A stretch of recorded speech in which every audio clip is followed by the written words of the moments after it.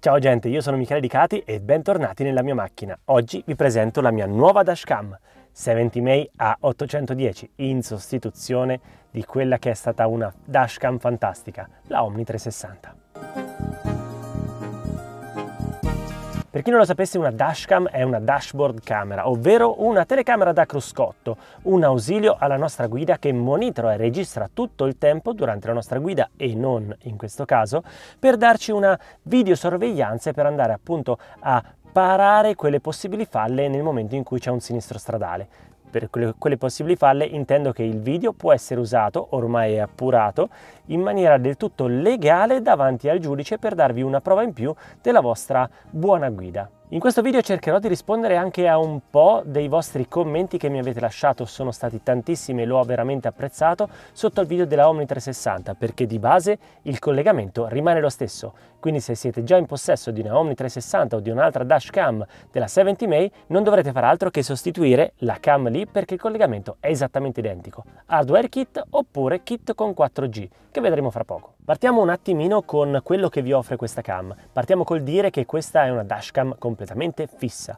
Non si muoverà da sola, non ruoterà su se stessa, non ha quelle particolarità che erano proprie della Omni 360 ma di base dovrete voi spostare l'obiettivo in modo che inquadri il vostro cruscotto. L'effetto fisheye è un pochino marcato ma è scontato visto che riprenderà davvero tutto quello che vedrà davanti a lei. In confezione vi vengono forniti ovviamente oltre a tutto il kit per l'installazione, quindi gli adesivi da apporre sui vetri anteriore e posteriore perché io ho ricevuto e ve lo consiglio il kit completo che è composto da una telecamera 4K da mettere davanti e una telecamera Full HD minuscola da posizionare sul lunotto posteriore per avere una ripresa combinata avanti-dietro, una cosa veramente spettacolare. Vi vengono dati anche i soliti foglietti antistatici da porre sul vetro prima di attaccarci l'adesivo della 3M che è instaccabile. Vi assicuro che la cam regge veramente tanto e se è esattamente come quello della Omni 360, anche sotto il sole cocente dell'estate, quando la temperatura interna del veicolo raggiunge i 70 gradi, la cam rimarrà lì senza grossi problemi. In compenso staccarla è stato complicato. Ho fatto prima per rimuovere la 360 a togliere il foglietto antistatico con tutta la cam sopra rispetto a staccare semplicemente l'adesivo. La cosa molto comoda è che questa cam la potrete staccare e rimuovere in maniera molto semplice perché ci sono solo delle slitte di collegamento. Come vi dicevo la cam è fissa, quindi di base siete voi che la dovrete orientare e anche quella posteriore è sempre fissa e va orientata.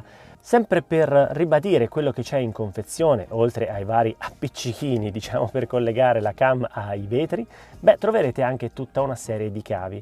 Se non volete comprare l'hardware kit, che è il kit vi ricordo che vi permette di collegarla direttamente alla centralina dell'auto, vi viene fornito comunque un cavo USB-C da collegare qui di lato molto lungo, mi sembra che siano circa 3 metri, che vi porta fino all'accendisigari e vi viene fornito anche l'accendisigari con ben due prese, una per una presa USB normale e l'altra per collegare la dashcam. Ottimo, come al solito, un ottimo comparto di accessori grazie a 70 May. Vi faccio presente che se pensate di non arrivare al lunotto posteriore con il cavo, io in questo momento sono seduto su una Honda Civic Tourer lunghezza 4,60 m più o meno e mi è avanzato più o meno un metro di cavo.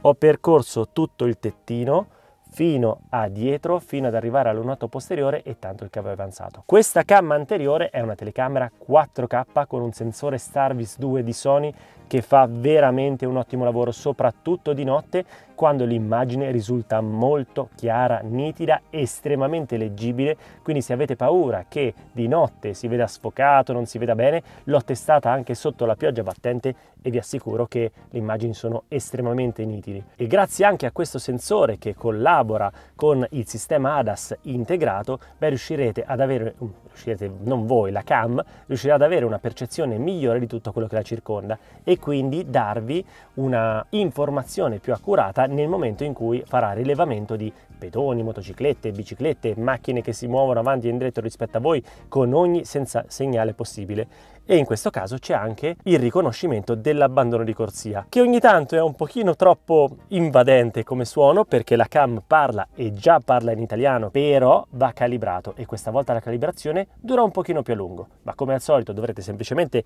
inquadrare il davanti facendo l'impostazione direttamente da qui dalla cam, guidare per 5-8 minuti e il sistema è a posto e funzionante. In ogni caso se comprate il kit c'è una ovvia complementarità tra le due cam. La cam anteriore fissa e la cam posteriore fissa vi daranno una percezione non dico a 360 gradi di quello che succede intorno alla vostra macchina perché mancano i laterali, cosa che la Omni 360 prevedeva ma solo con un effetto a posteriori se solo se ricevevano un urto, qui invece la cosa è simultanea e se pensiamo a tutti i vari tamponamenti che sono la maggior parte di quello che potrete ricevere purtroppo come sinistri statali, beh in questo caso siete copertissimi. Se eravate abituati ai piccoli schermi della Omni 360, beh qui facciamo un gigantesco upgrade per uno schermo da 4 pollici molto funzionale e nitido. Funzionale perché ritroviamo tutte le funzionalità descritte con le varie icone che erano proprie anche della Omni 360, ma che qui sono disposte meglio.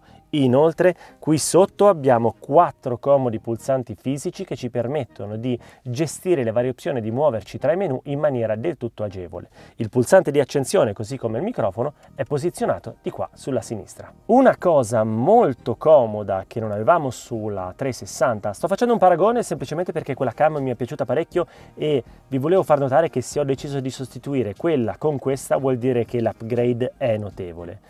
Qui questa cam non ha, questa dashcam non ha nessuna memoria interna di suo, ma supporta le micro SD. Finalmente, perché così potremo anche recuperare i video, basta semplicemente togliere la micro SD e portarla in un qualsiasi computer. Invece di stare lì a dover scaricare per ore, perché i file sono belli pesanti visto che stiamo parlando di file in 4K, direttamente dall'applicazione. L'applicazione non è cambiata, l'applicazione per connettere questo dispositivo è semplicissimo, basta andare dentro l'applicazione, cliccare sul tasto più e in automatico scansionare il QR code e si riconoscono a vicenda. Cioè, si riconoscono a vicenda. Riuscirete ad aggiungere la cam all'applicazione senza un grosso sforzo. Un'altra cosa caratteristica e molto comoda delle cam della 70 May è la modalità sentinella, ovvero nel momento in cui spegnerete la macchina solo ed esclusivamente se avrete collegato la cam solo ed esclusivamente se l'avrete collegata con l'hardware kit o con il modulo 4G che è qui in mio possesso nella mia mano, allora potrete attivare la modalità sentinella. Se la collegherete a un power bank, assolutamente no. Vi spiego perché. In, in pratica questo kit, uh, che sia l'hardware kit o il modulo 4G, vi permettono, permettono alla cam di capire quando il veicolo è in moto oppure no, quindi quando è acceso oppure no. Lei prenderà comunque l'alimentazione dalla batteria, ma riuscendo a capire quando il veicolo è in movimento, staccherà la modalità sentinella per andarla a riattivare nel momento in cui spegnete il motore ed estraete la chiave. Questo è fondamentale perché anche questa cam qui ha il riconoscimento delle possibili persone malevole, diciamo così. Cioè, se sosterrete davanti alla macchina per tot secondi, lei farà partire una registrazione di circa un minuto o comunque finché la persona non se n'è andata dall'inquadratura, che è una cosa comodissima. Vi voglio ribadire che questa dashcam è una modalità di sorveglianza, non è una modalità di allarme. Quindi in ogni caso, se come mi avete scritto vi rompono il finestrino e vi rubano la cam, eh, ragazzi, eh, i video sono nella micro SD, quindi se vi rubano la cam è ovvio che non avrete un deterrente, non avrete neanche un qualcosa da portare davanti al giudice.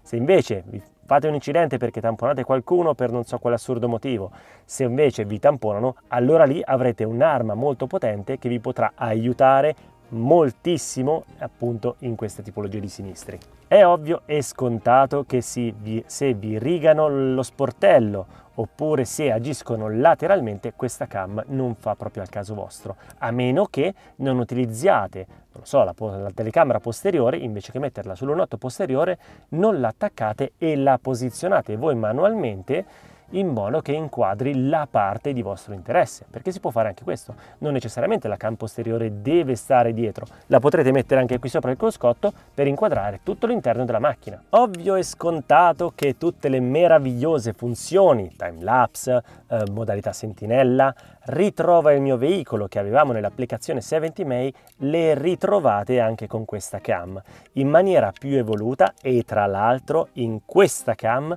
potrete selezionare, perché è stato un enorme scalino questa cosa, la gestione del consumo di batteria della vostra macchina. Qualcuno mi ha scritto che ha ritrovato la batteria terra. Ora, da questa cam potrete impostare senza grossi problemi l'alert relativo al consumo, che non è proprio un alert, nel senso la cam sarà molto più attenta a quant'è il consumo rispetto alla centralina, quindi rispetto alla batteria della vostra macchina, così da non scaricarvela. In più potrete impostare anche un tempo dopo il quale la cam si autospegnerà non andando a consumare assolutamente niente, perché vi ribadisco che questa dashcam qui fa sorveglianza video H24, quindi registrerà H24, a meno che appunto non usufruirete di questa, a mio avviso, importantissima feature per cui gli potrete dire di spegnersi dopo, non lo so, 20 minuti. Troviamo nuovamente la funzione di rilevamento del veicolo, ovvero nel qual caso aveste il modulo 4G collegato, che è questo modulino qui, beh potrete sapere ogni momento dov'è il vostro veicolo, perché il modulo 4G comunica via satellite con appunto una rete 4G e quindi tramite la vostra applicazione potrete vedere e ricevere le notifiche di dov'è il vostro veicolo. Punto punto ma ciò non toglie che la cam è già dotata di GPS interno, quindi rileverà tutti i vostri spostamenti e tramite l'applicazione potrete magari ritrovarla se l'avete parcheggiata in un posto dove non siete soliti abitare. Non lo so, andate a fare una gita a Roma, Milano o dove, dove volete e volete ritrovare il vostro veicolo, tramite l'applicazione lo potrete fare. Adesso vediamo a questo giocattolo qui, il modulo 4G, che si connette esattamente con gli stessi tre cavetti del vecchio modulo 4G, quindi se avete il modulo 4G o l'hardware kit vecchio della vecchia 70 May Omni 360 vanno benissimo, sono esattamente quelli.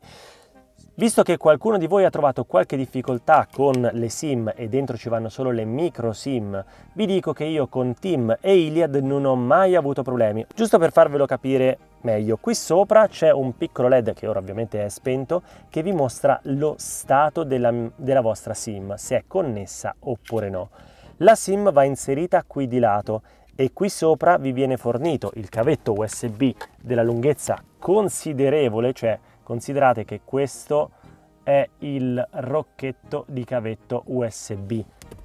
Quindi questo cavo qui lo potrete tranquillamente collegare anche sul portabagagli della vostra macchina perché quelli sono altri 3 metri di cavo. E proprio perché quel cavo lì è molto molto lungo questo modulo deve necessariamente stare in un punto della vostra macchina dove il 4G prende. Non lo potrete mettere dentro e sotto la ruota di scorta perché la possibilità che non prenda il 4G è elevata. Potrete verificare se questo affare qui è connesso oppure no dalla lucina sopra. Se è rossa o se è blu lampeggiante non sta funzionando a dovere, deve essere blu fissa. Detto questo, questo qui sopra è il tasto di reset. Una volta collegato questo alla centralina e questo alla cam, il tutto funzionerà come se fosse un hardware kit normalissimo. Nei commenti della Omni 360 qualcuno di voi mi ha scritto che se poteva collegare la cam a appunto un power bank. Sì, la potete collegare ad un power bank per avere un'alimentazione che duri più nel tempo, ma non avrete l'effetto sentinella.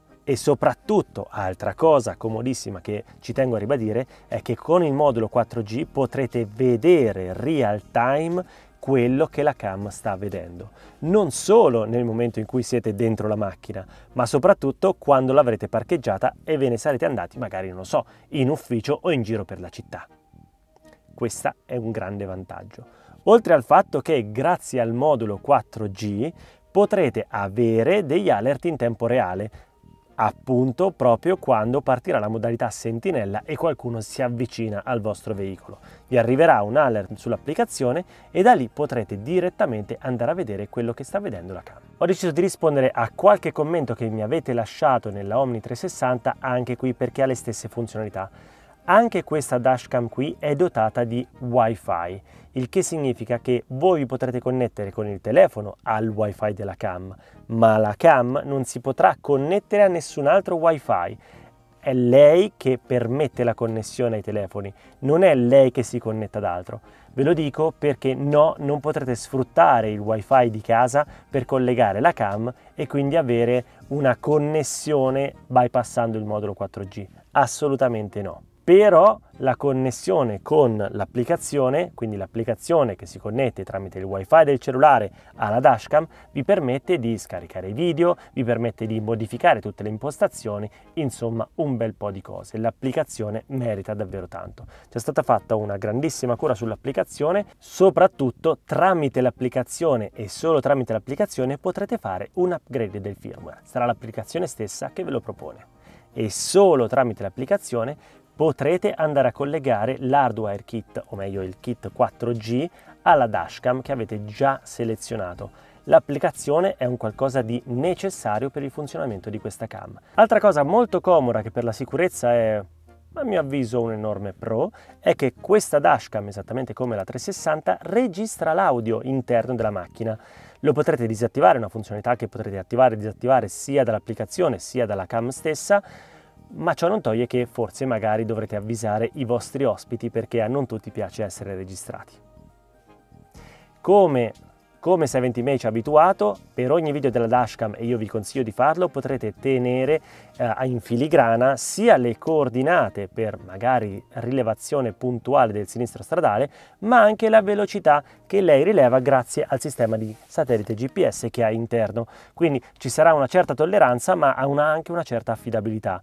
Tutto questo può essere usato magari per segnalare il fatto che stavate andando entro i limiti. Considerate che le immagini notturne di questa cam sono davvero impressionanti.